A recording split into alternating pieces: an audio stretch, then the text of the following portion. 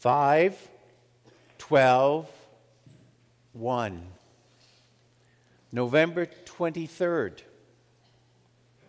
That was the Edmonton Oilers record after 18 games. 5 12 1. Not a winning season by November 30th of 2023. Now they are in the Stanley Cup finals. An amazing turnaround. Do not lose heart.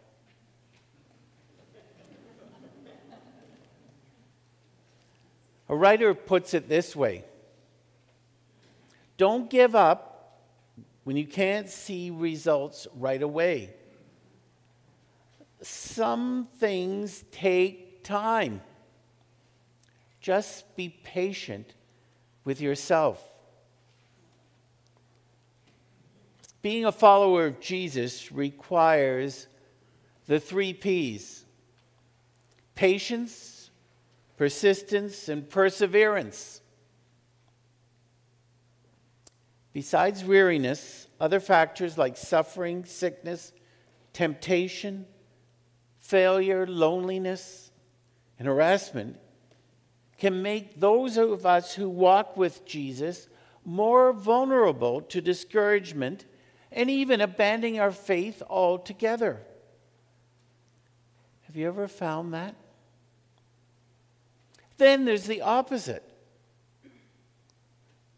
When everything is going perfectly, when all your ducks are in a row, you may be tempted to grow complacent, bored, or just slack off on your walk of faith.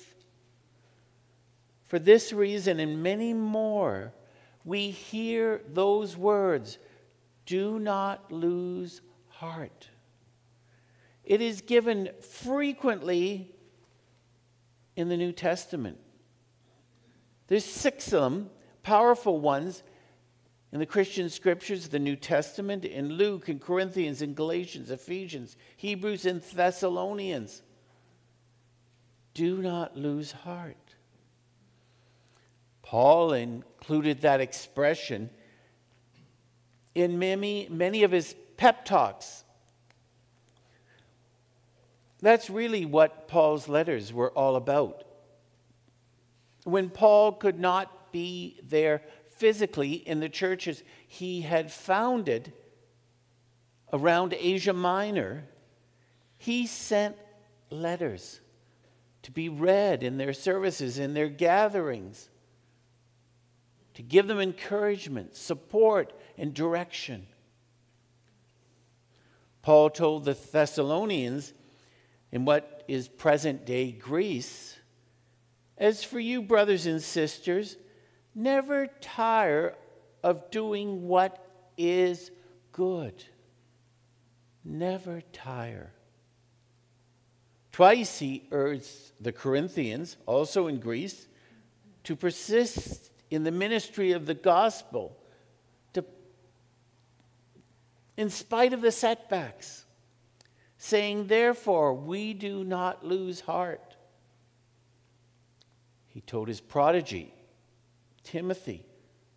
Do not lose heart in pursuing righteousness and a godly life, along with faith, love, perseverance, and gentleness.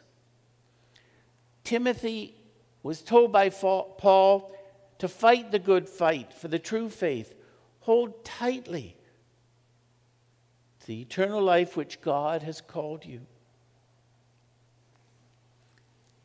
Regularly, I speak to people who are losing heart.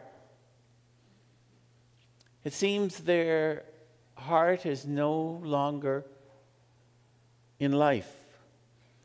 It might be a result of loss, disappointment, conflict, or addiction. This can also happen when many people at middle age go through a major adjustment in their lives. Losing heart literally means giving in to that which is not God's way That's what Paul is talking about today. We lose heart when we cave in, inside and outside, refusing to live a life based on the promises of God. We stop looking to Jesus. We stop depending on the Holy Spirit to guide us. Maybe we even get to the point I can do it all myself. We say, we don't need God's way. We might even set ourselves up as God. By the way, we're not. Let's make that perfectly clear. We are made in God's image, but we are not divine. Henri Nouwen, the Dutch Catholic priest, professor, writer, and theologian, shared the lesson of trust he learned from the family of trapeze artists. After watching them fly through the air with the greatest of ease, he asked one of the flyers the secret of the handoff in midair. Have you ever seen it? It is amazing. They explained to Nouwen the secret is that the flyer does nothing, the catcher does everything. When I fly to Joe, my catcher, I simply stretch out my arms and wait for him to catch me and pull me safely over the apron. The worst thing a flyer can do is to try to catch the catcher.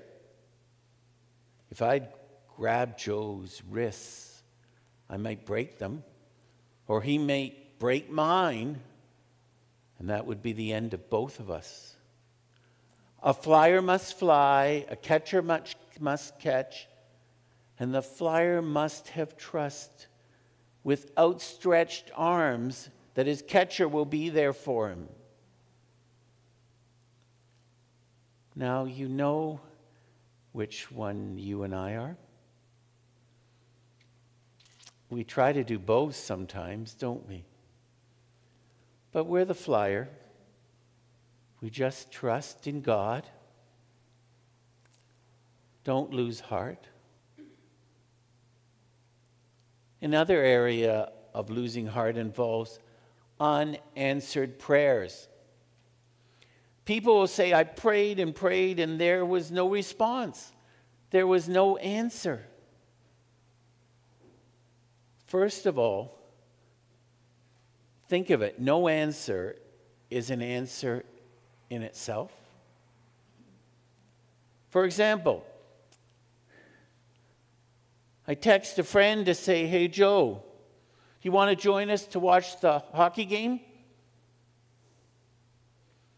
Joe never responds to my text. There was an answer. The answer was no. But then, during the second intermission of the playoffs, Joe texts me and says, Done work early, heading over to see the third period. In both cases, there are answers. The difference is timing and circumstance. When we pray, it is not an automatic response. It does not bounce back to us immediately. Well, sometimes it does, but that's more the exception. God has answers that we have not even thought of yet. And sometimes we just need to wait. In Luke 18, we read, Always pray and do not lose heart. Always pray, do not lose heart. What is the danger here? We think we're not getting what we want, so we stop, we give up, we walk away. Jesus says, always keep praying. He tells the story of a widow who kept knocking at the door of a judge. She kept at it and at it and at it. Even the judge, who was corrupt, in time gave in. Jesus says, if your heavenly Father, who loves you more, will hear and will respond, but just don't lose heart. Keep praying. There's a writer, Colin Smith, and he authored a book entitled How I Get Heaven Here and Now. And he writes The world is scared by the increasing conflicts around us. We watch the news and we wonder what in the world is going to happen next. It's easy in that situation to lose heart. Have you ever PVR'd the nightly news? And you fast forward through the stories you don't want to look at? The stories may be anything from Ukraine to Gaza, the U.S. election campaign to increasing tension in the Taiwan Strait, gun violence here in the GTA to wildfire fires out west. The list can go on. But we are tempted to lose heart. Colin Smith continues then there's that huge moral shift that's taken place in our culture. As we've moved away from God being the basis and God's word being the basis for us, to basically what is it that we want. And it's easy in that situation to lose heart. It's easy to lose heart.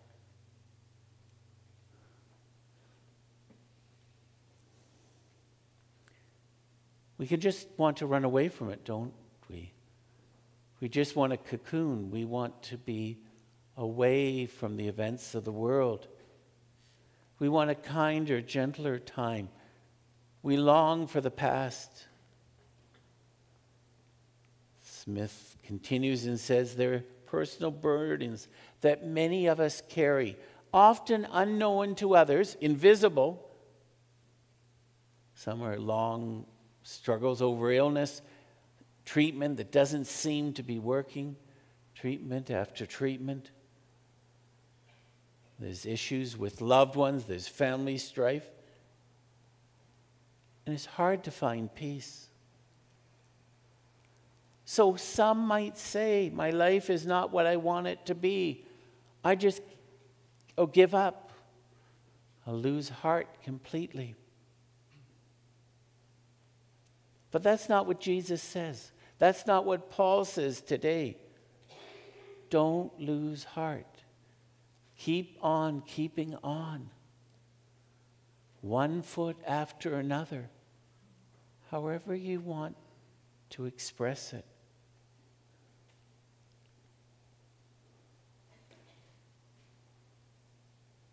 As Christians, we view the world in a different way. First of all, we believe there is a creator, and that creator is alive in our lives, and it's not simply a roll of the dice. We believe that life is not simply random acts. There's purpose and guidance and direction. We also believe that our life is not simply here and now, but as was said clearly in the scripture, that there's an eternity beyond. And that changes our perspective about how we look at each day. First of all, we look for the purpose and the meaning and the plan, but we also understand that this is only for a time. There is an eternity beyond.